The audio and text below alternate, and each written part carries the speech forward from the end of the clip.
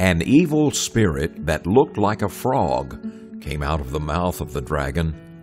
One also came out of the mouth of the beast, and another out of the mouth of the false prophet. These evil spirits had the power to work miracles. They went to every king on earth to bring them together for a war against God all powerful.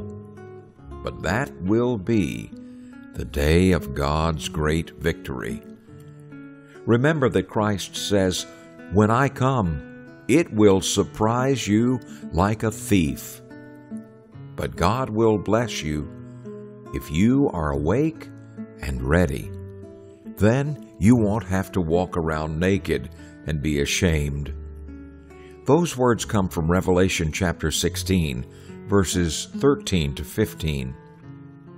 God let John see things in the spiritual world that men cannot see with human eyes. As you come to know Jesus better and recognize Him in the events of your day, you will also come to see the battles that are going on around you in the world of the Spirit.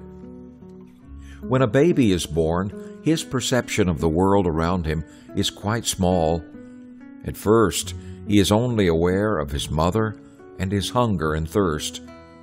As he grows and ultimately becomes a man, his view of things expands dramatically. It is the same with a follower of Jesus.